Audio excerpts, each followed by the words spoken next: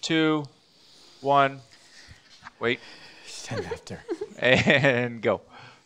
Are you sure? I think so. Are we live? I think so. Hi, folks. Sorry, we uh, just to tell you real quick what's happened.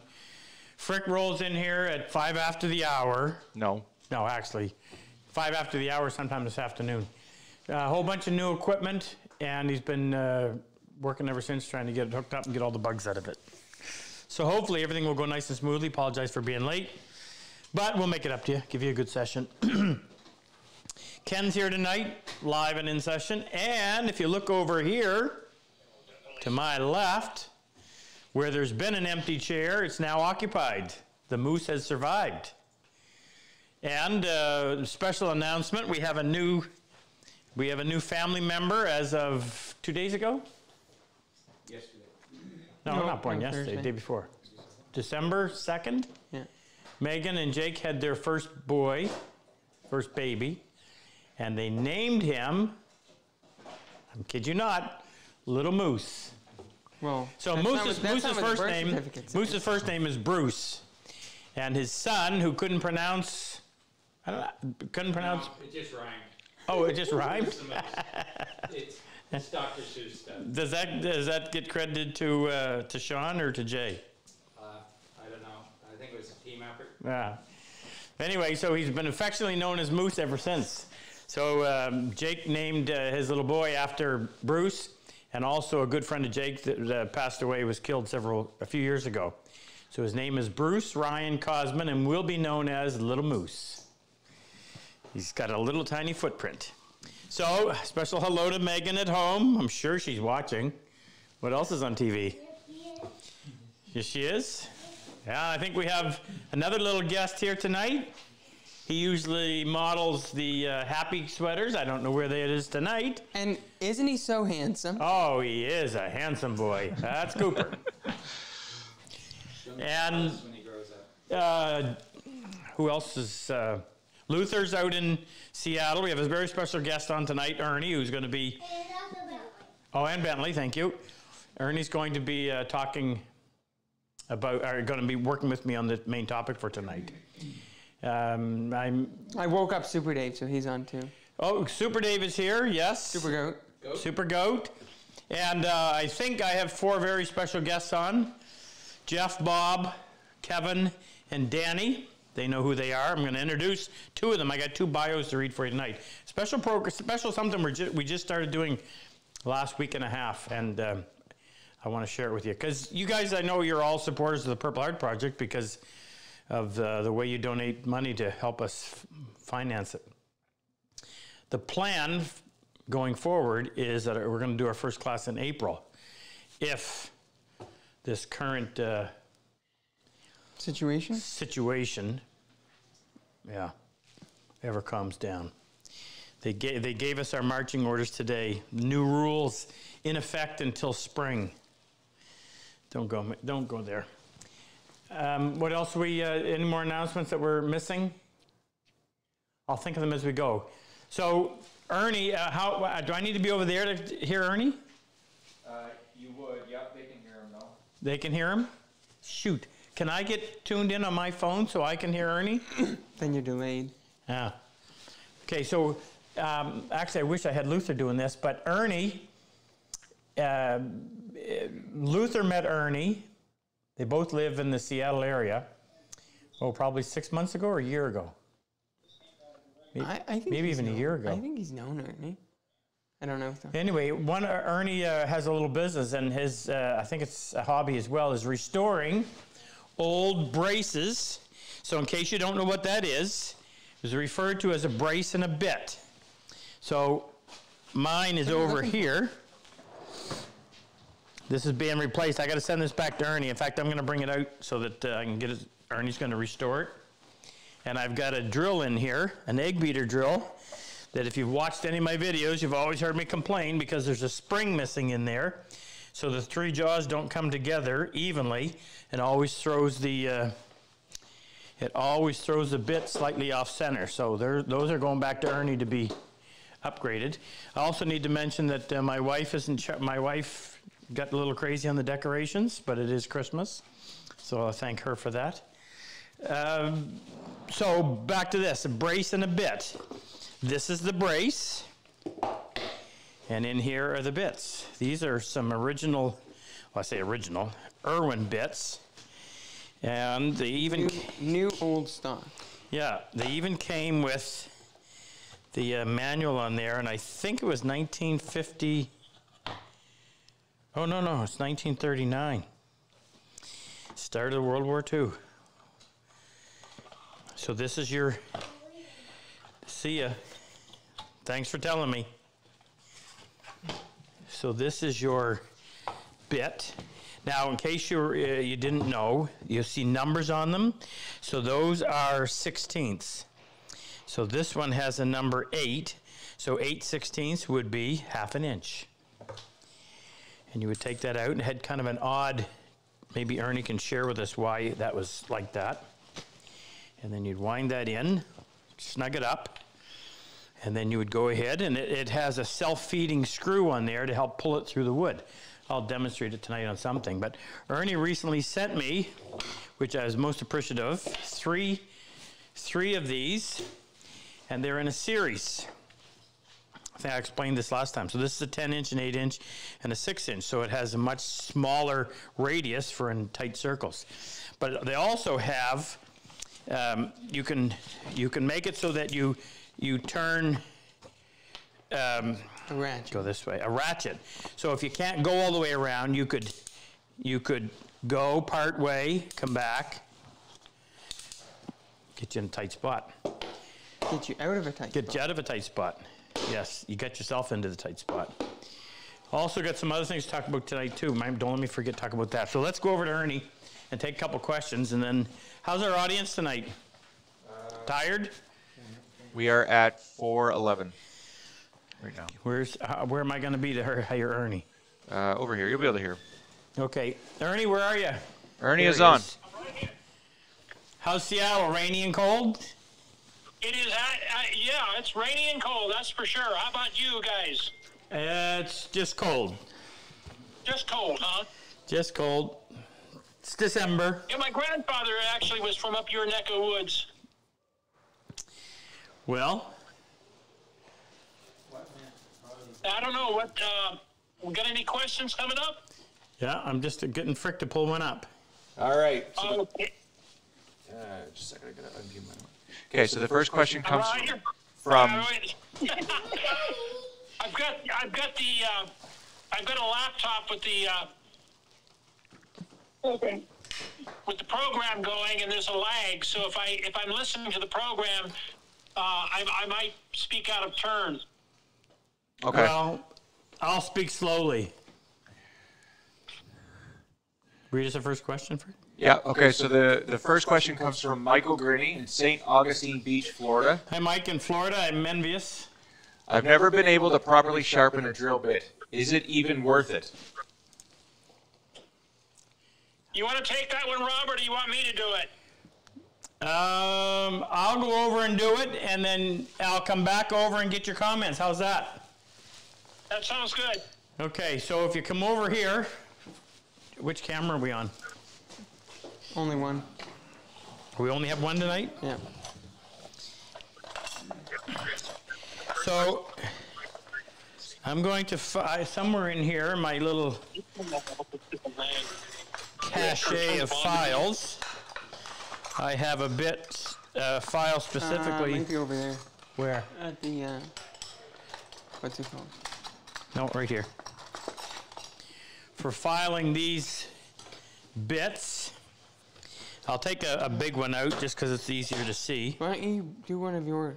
Those are never used. They don't need to be sharpened, do they? Yeah, they, they, they- they're used. Yeah. Now, I'm, I'm going to get a Sharpie. And I don't think, Ken, have you got a sharp, a, a new Sharpie? Mine that I dug out the other day had to throw away. It was all dried out. If you would, please. Where are you going to the vice? Well, I've got my little vise right here. I'm going to try that just to make it easier than having to go over there. I, I want to highlight with a uh, Sharpie what I'm going to do. so that you can see it. But you I'll, wanna point, just I'll point it? point it out. So there's two cutting lips and there's two, I don't know what you call these, but they score the wood. So when this screw is pulling into the wood, you want these cutters. Oh shoot, Ken, I was asking you for a, you know, a big one. I felt like I know, felt one. You know, the one where you can paint a surface. Oh, I don't have a new one of those. Uh, Gina might. So you want these to touch first, and what they'll do they're sharpened like a knife. They'll go around and they will score the perimeter of that circle, and then these cutters will come in and they'll excavate Which that. ones? This one. Oh, sorry. So this cutting edge right here, and the opposite side, this cutting edge right here will go in, and they will score Score. pardon me, they will ex- Scrape out? excavate. No, not they're not really scraping, they're cutting. They'll excavate that material that i- is relatively easy to remove because it's already been scored. So you know what it's like when you uh, score a piece of wood across the grain and then remove that short grain, it comes off quite easily. So the areas that need to be addressed are right here, and this is the surface that we'll work on. You never want to touch anything on the outside. If you touch anything on the outside, you're going to lose your one inch diameter. But you may also, if you if you were ended, ended up touching that outside and bringing it in a little bit, now you don't have the clearance you need and it's just going to jam on you. So you only work on the inside. So we're going to work that surface. We're going to work this surface, and I just put my magnifiers on so I can see a little better.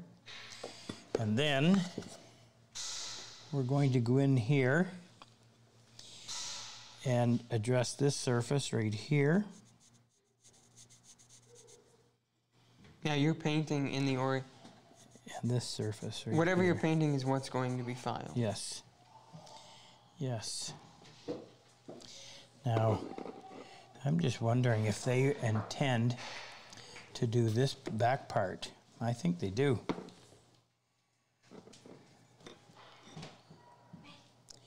Now let's just figure this out for a second. If we change up here, we change the cutting angle. If we change down here, we don't because it's the relief. So I'm going to go back over and ask Ernie because I think this is actually the surface area that should be should be filed. But I'm going to I'm going to bow to his expertise and find out. So Ernie, I'm coming your way.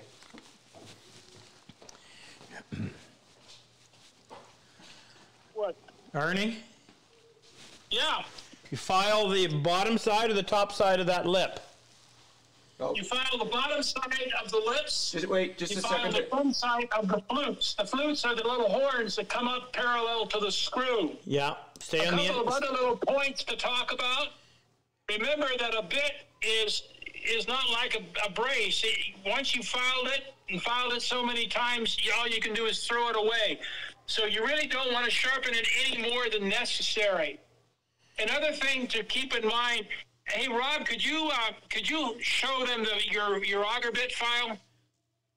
But, yeah, um, Can you rotate your camera there, Ernie, so it's horizontal? Horizontal. That way. yeah, Can you show them your auger bit file, Rob? I'm going to ask these young guys to be really quiet. Hey, boys.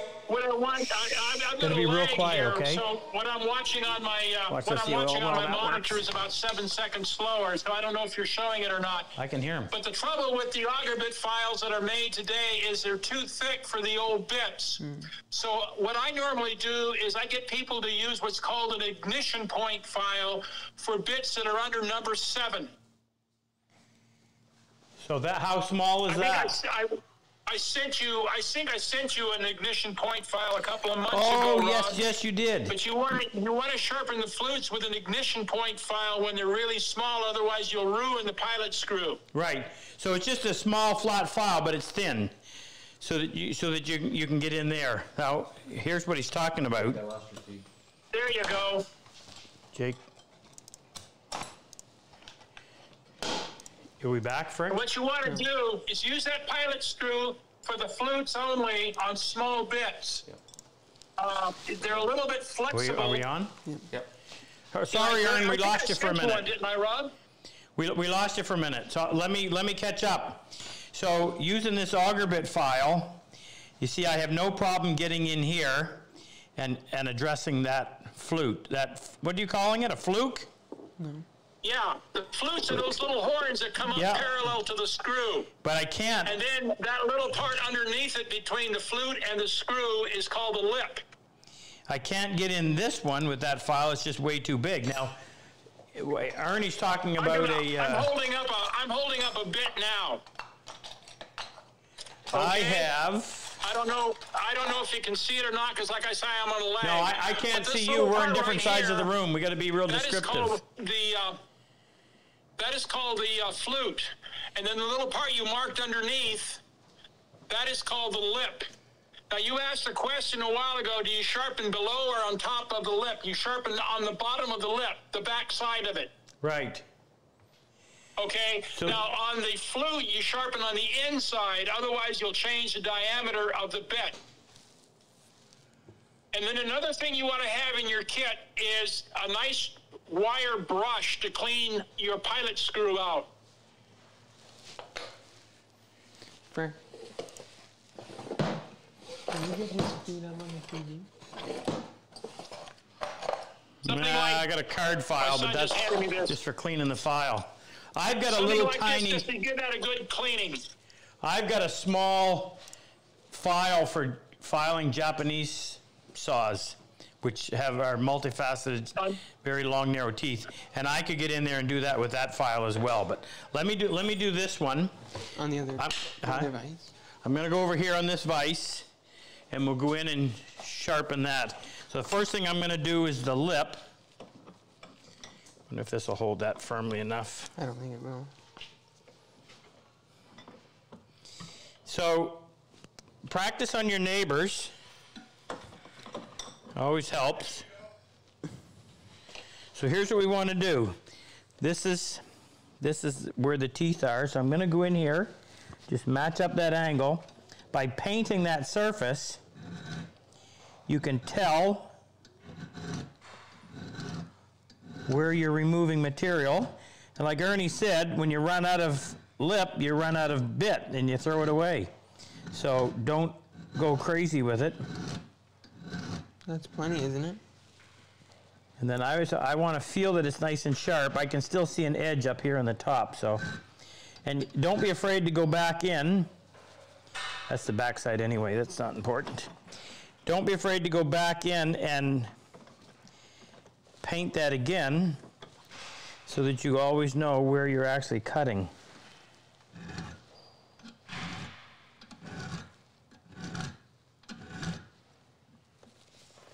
Okay, now spin that around.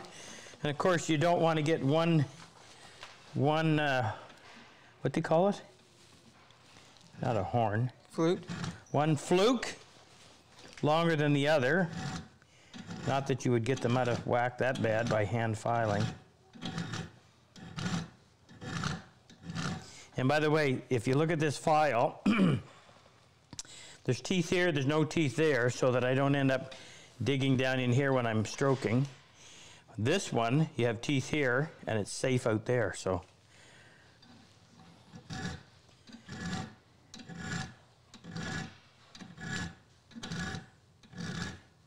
Ernie, did you have a good Thanksgiving? See what now? Did you have a nice Thanksgiving? Well, I've got Scott here. I'm going to have him show you what I use. I see you using a vise. He asked if you had a nice Thanksgiving. Oh, did I have a nice Thanksgiving? Yes, I had a wonderful one. I was, I was actually with Scott and his wife and son. Hi, I'm Scott. Hi, Scott. You interpret for me for Ernie all night, would you? I will. Scott's prettier than I am. Not by much, though. So here's the here's my black area. And you, you have to make sure that you always have clearance on this. I don't know if you could ruin that or not, but What you want to remember to do is not, not file it too much because once you file it down to about halfway, your bit is useless.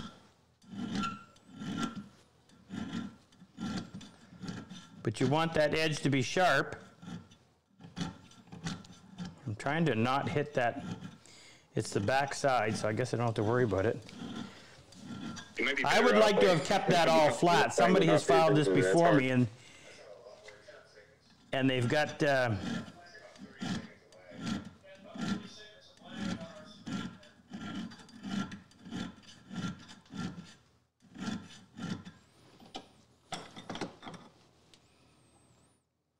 okay, so I can tell with my finger that I've got a, I've got a sharp edge. Should you have done this first? What? The flats? Well, I'm, I'm hitting the backside, so it's not, uh, yeah, I'm, I'm looking about 30 seconds ago. If you use the flat side of the file, you might have better luck on the flute. what did he say? The flat side? Flat side of the file, you might have better luck on the flute. Yeah, I was. If you notice an auger bit file, they have a safe face and they have a safe edge on opposite ends. And the, Oh, the reason they do that? that is to keep you from doing it. damaging the part of the bit that you don't want to file on.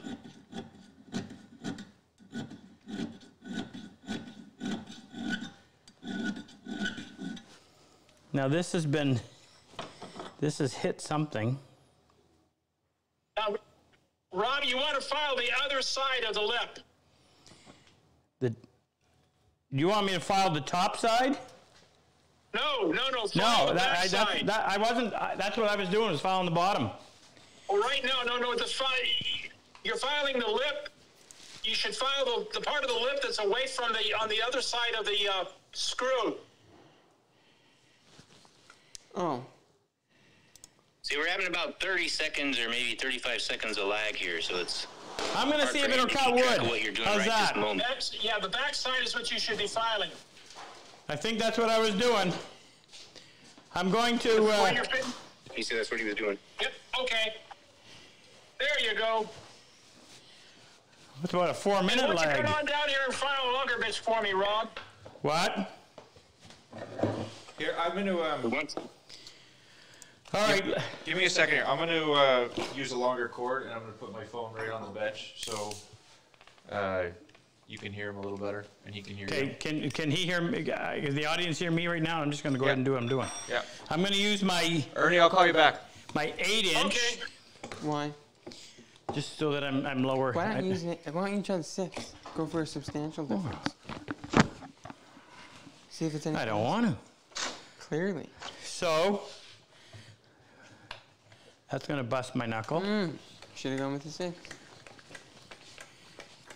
So whenever I do this, if I can put this vertical so that I can hold it like this, and it just, Put the piece vertical. Well, I mean, if you're, piece if vertical. you're trying to do it like this, your arm, you're just swinging all over the place. So I do it like this, and I can, what's happened, Frick? Oh, Frick just hit one of the uh, marking gauges. Chisel. Oh my word. Oh, he was cutting the. Uh, Oh, you tried to my cut it? Uh oh. How bad?